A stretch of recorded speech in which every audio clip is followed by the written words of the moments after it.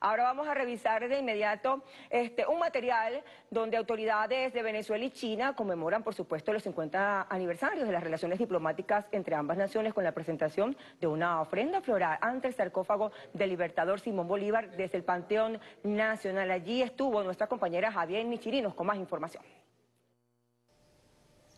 Las relaciones comerciales entre China y Venezuela se encuentran en el más alto nivel con bases sólidas basadas en principios como la igualdad y la hermandad. Así lo destacó la vicepresidenta ejecutiva de la República, doctora Delcy Rodríguez, durante un acto que se realizó en el Panteón Nacional a propósito de conmemorarse 50 años de las relaciones diplomáticas entre la nación bolivariana y el gigante asiático. 50 años de establecimiento de las relaciones diplomáticas, podría decirse fácil pero que muestra la voluntad que a partir del año de 1999 el comandante Hugo Chávez estableció para relaciones de mayor amplitud con unas bases sólidas en su fundación. Dice el presidente Nicolás Maduro y ha definido cinco etapas en nuestras relaciones diplomáticas. 1974, establecimiento de las relaciones diplomáticas hasta 1999, se podría decir, la primera etapa de unas relaciones formales de relacionamiento diplomático entre nuestros países. Pero es con la llegada del comandante Hugo Chávez que se le da un impulso especial justamente a nuestras relaciones. Y se podría decir que inicia así la segunda etapa, donde Chávez dijo muy claramente que nuestro norte no era el norte global, que nuestro norte era China, era Rusia, era ese nuevo mundo que empezaba en ebullición a marcar que algo estaba pasando en la humanidad y que venía un nuevo camino de relacionamiento en la geopolítica internacional. Bueno, esa etapa fue una etapa de florecimiento entre nuestros países, una etapa sembrado de proyectos donde al día de hoy ya tenemos más de 531 proyectos en 17 comisiones mixtas de alto nivel que se han llevado a cabo bajo el impulso del comandante Hugo Chávez y luego el presidente Nicolás Maduro. Esta etapa la define el presidente hasta el año 2014, cuando con la visita del presidente Xi Jinping a Venezuela se firma la Asociación Estratégica Integral. Ya nuestras relaciones venían con músculo del forjamiento, de la voluntad férrea del comandante Chávez de edificar relaciones para el desarrollo compartido, para la felicidad del pueblo de China, para la felicidad del pueblo venezolano. Y esta relación, esta etapa, bueno, comprende de 2014 a 2018. Ya 2018 aparece en nuestras relaciones como un factor de perturbación el bloqueo criminal contra Venezuela. Las medidas coercitivas unilaterales que impactaron en la cooperación China-Venezuela. Esta etapa está enmarcada entre los años 2018-2023. 2023, septiembre, es la visita de Estado que realiza el presidente Nicolás Maduro a la República Popular China, embajador Langu, querido embajador Chu Chichang, donde allí, bueno, firmamos 31 acuerdos ya en esa etapa post-bloqueo, decimos nosotros, aunque estamos bloqueados, somos países que compartimos, yo digo, el pedestal del honor de ser sancionados por el norte global, por su intolerancia, por su falta de relacionamiento humano, por su falta de relacionamiento respetuoso en el marco de la legalidad internacional. Y esta etapa, bueno, se firma allí entre los presidentes Xi Jinping y el presidente Nicolás Maduro esta nueva etapa, que es una etapa de relaciones a toda prueba y a todo tiempo. Es una etapa donde el presidente Nicolás Maduro ha llamado una etapa esplendorosa, que visualiza el futuro entre China y Venezuela, que lleva el mensaje de que no hay nada que pueda detener nuestro relacionamiento.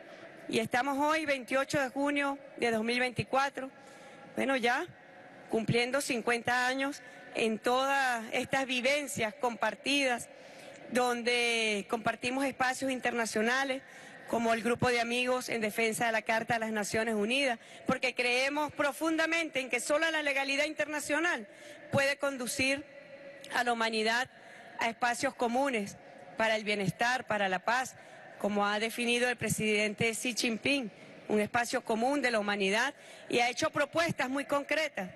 En el año 2021, 2022, 2023, en la Asamblea de las Naciones Unidas llevó su propuesta sobre desarrollo global, sobre seguridad global, sobre civilización global, propuestas muy concretas que deberían abonar el camino para una humanidad sin violencia, sin guerra.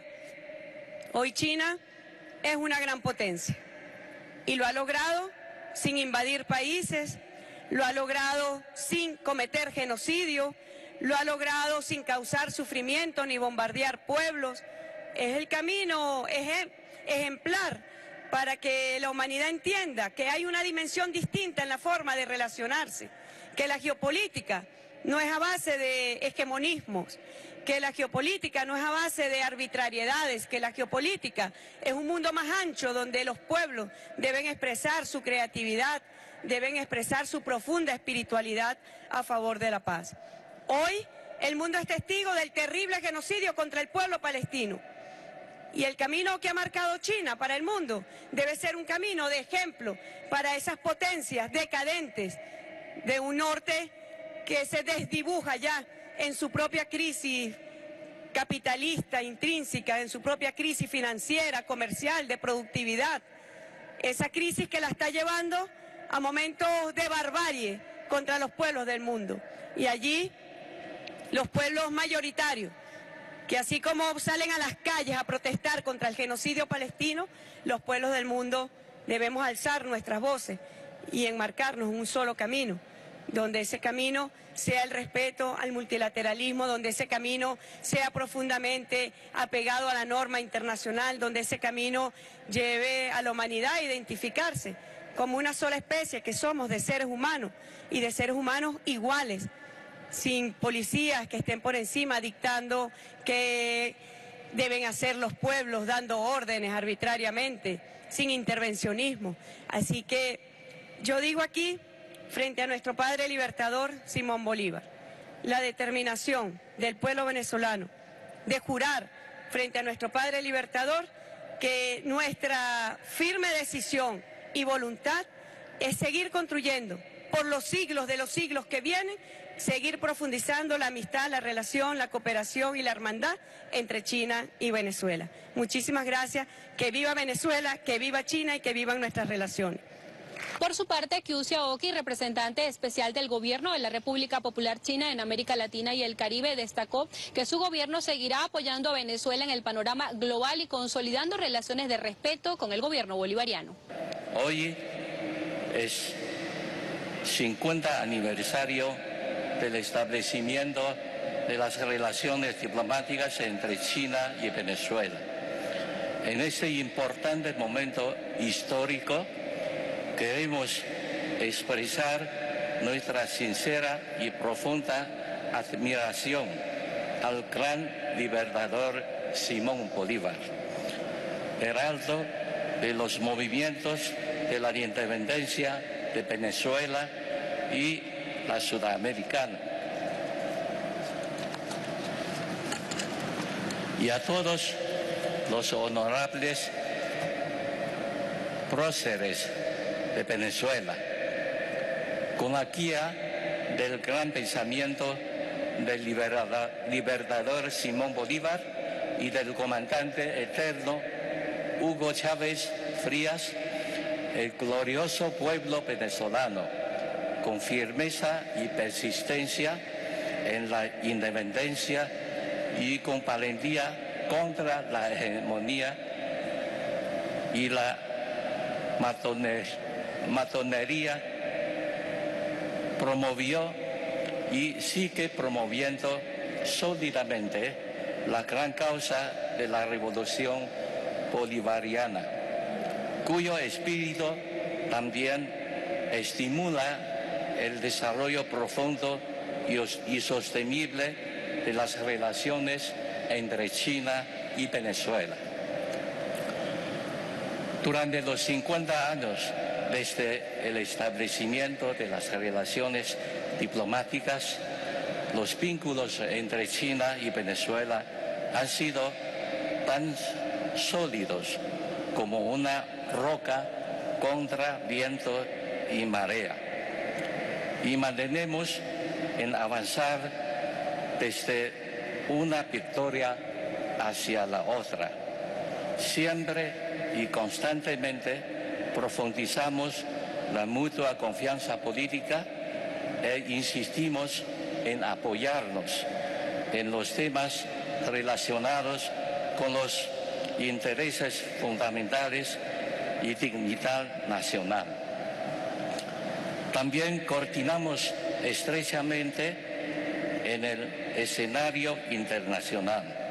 Defendemos conjuntamente los principios de la Carta de la ONU.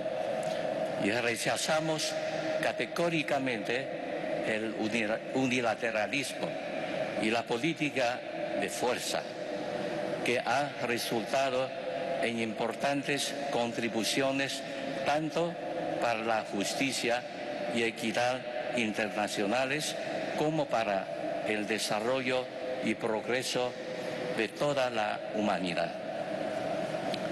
Tenemos la firme convicción de que bajo el liderazgo del importante consenso común entre el presidente Xi Jinping y el presidente Nicolás Maduro, la asociación estratégica a toda prueba y todo tiempo ganará más éxito, bienestar para los pueblos de China y de Venezuela.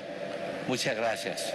Las relaciones diplomáticas entre China y Venezuela que cumplen medio siglo contemplan más de 500 acuerdos sellados con una visión humanista y de desarrollo compartido. Reportó para ustedes Javier Nichirinos, la noticia.